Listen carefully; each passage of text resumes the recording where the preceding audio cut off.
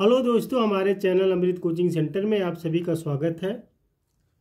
और आज हम पढ़ेंगे the end of our tortoise का पार्ट टू। इसके पहले आप लोगों ने पढ़ा पार्ट वन, जिस, इस कहानी में एक कछुए का अंत होता है और किस तरीके से उसका अंत होता है, किस प्रकार से उसका अंत होता है, उसी के बारे में हम लोग अब पार्ट टू में आगे की कहानी के बारे में पढ़ेंगे। If you climb on the back of on one of us, यदि तुम हम किसी, यदि तुम हम में से किसी एक की पीठ पर भी चढ़े you are sure to fall off again तुम निश्चित ही गिर जाओगे। अब कलहंस जो रहते हैं, वह कछुए से कहते हैं कि यदि तुम हमारे दोनों में से किसी के पीठ पर पड़, बैठते हो, तुम फिर दोबारा गिर जाओगे। I tell you how said the tortoise कछुए ने कहा, मैं तुम्हें बताऊँगा कि कैसे होगा। I have very strong jaws मेरे मुँह में मज़बूत जबड़ा है। अब कछुआ उन दोनों से कहता है, अपना विचार प्रकट करता है कि मेरे मुँह में बहुत मज़बूत जबड़ा है। You both shall take hold of a stick at each end तुम दोनों को यानी तुम दोनों को, दोनों सिरों से छड़ी को अपने मुँह से पकड़ना है। अब कछुआ बताता है कि मेरे मुँह में एक मज़बूत जबड़ा है। अब तुम उसको दोनों एक एक साइड पकड़ कर कस कर पकड़ो, पकड़ोगे।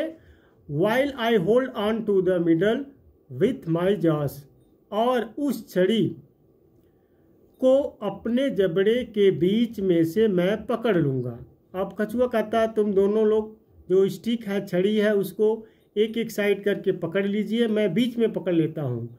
What do you think of this तुम इसके बारे में क्या सोचते हो?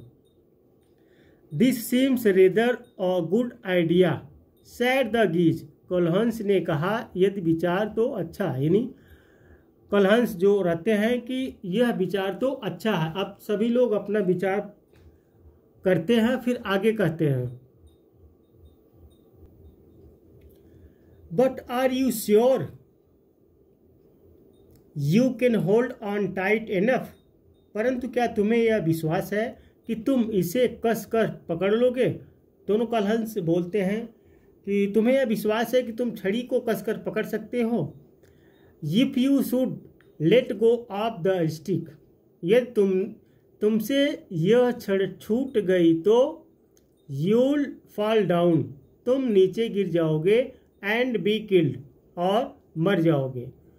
अब जो है वो स्टिक की बात करते हैं कि पकड़े, पकड़ अगर तुम नहीं पकड़ पाओगे, यदि स्टिक छड़ी जो रहता है वह छूट जाएगा तो तुम नीचे गिर जाओगे और मर जाओगे। You may trust me for that said the tortoise उसके लिए मुझ, तुम मुझ पर भरोसा कर सकते हो, कोलहंस ने कहा, यानी कछुए ने कहा। कछुए ने कहा कि इसके लिए तुम मुझ पर विश्वास कर सकते हो। I hold on tight enough मैं इसे बहुत कसकर पकड़ूँगा और you need not be afraid तुम्हें डरने की आवश्यकता नहीं है।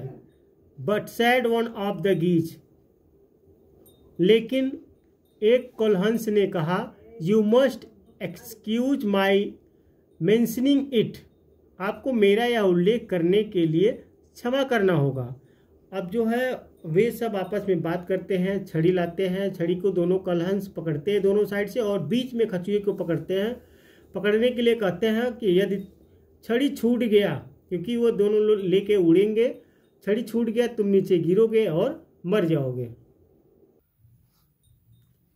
You are rather fond of talking यदि तुम्हें बात करने का शौक है दोनों कहते हैं कि तुम्हें बात करने का शौक है।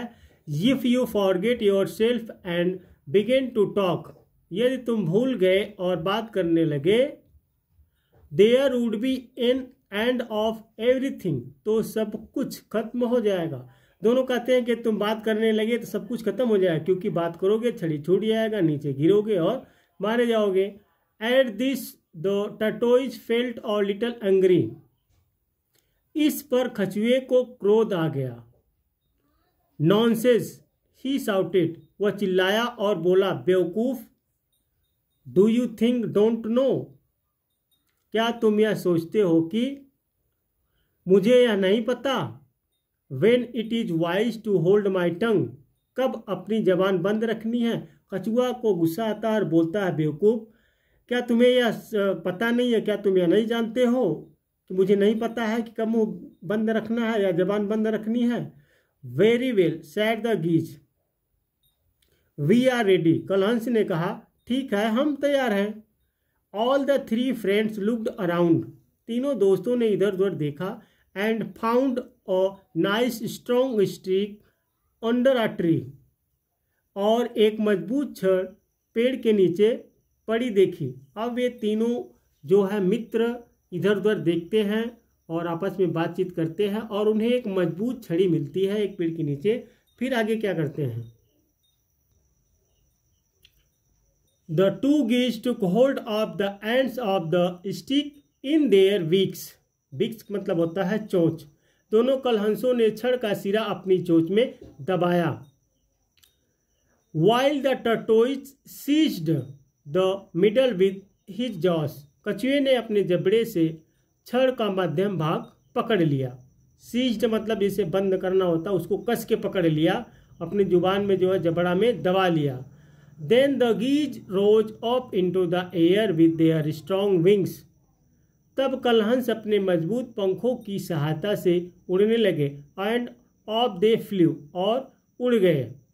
The tortoise was rather scared at first at this new way of travelling प्रारंभ में खचुआ इस प्रकार चलने पर पहले तो घबराया। But he held on bravely परंतु वह बहादुरी से उसे पकड़े रहा।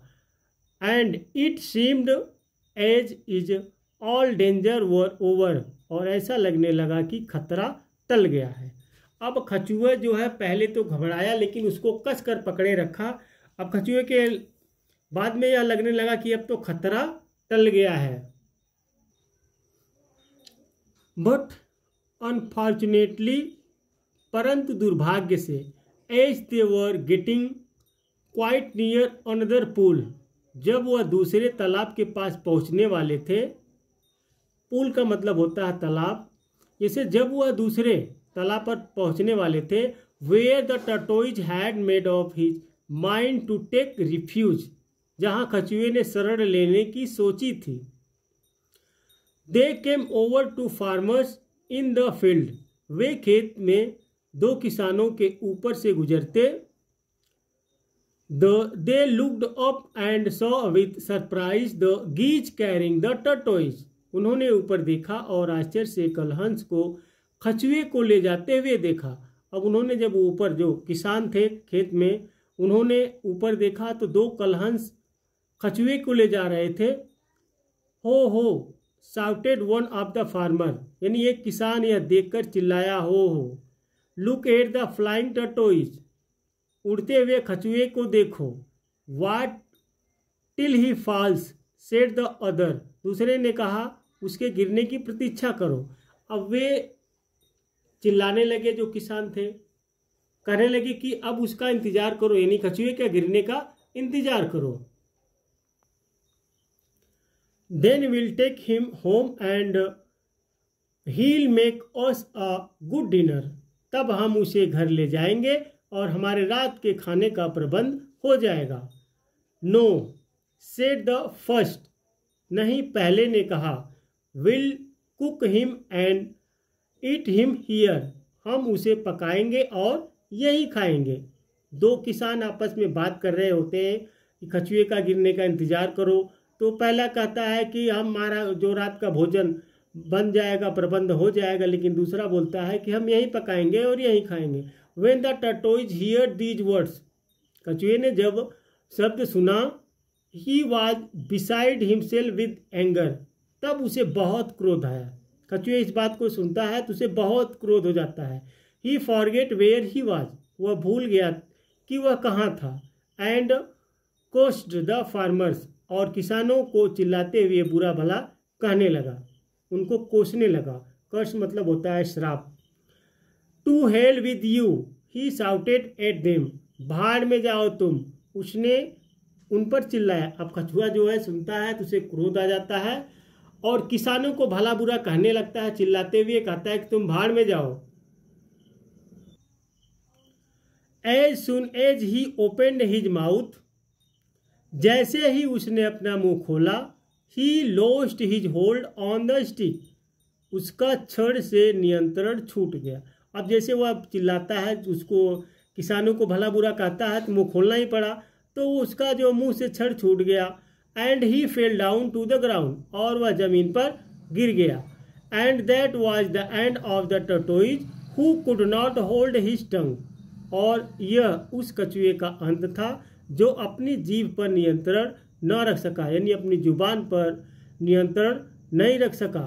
If he had hold held his tongue यदि उसने अपनी जीव पर नियंत्रण रखा होता he would not have fallen down तब वह नीचे न गिरा होता।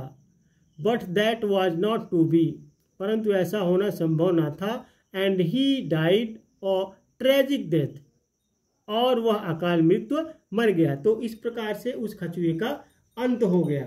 तो इसी प्रकार की वीडियो देखने के लिए या किसी भी लेसन का आप बनवाना चाहते हैं, सरल हिंदी अनुवाद के साथ इसी प्रकार से पढ़ना चाहते हैं तो लेसन का नाम और क्लास का नाम लिखकर कमेंट बॉक्स में ज़रूर लिखिएगा और हम आप तक ज़रूर पहुँचाएँगे इसी तरीके से पढ़ाकर। तो उम्मीद करते हैं यह लेसन आपको समझ में आया होगा और इसी तरीके से आप देखते रहिए और हम आपको पढ़ाते रहेंगे। आप पढ़ते रहिए और आगे बढ़ते रहिए।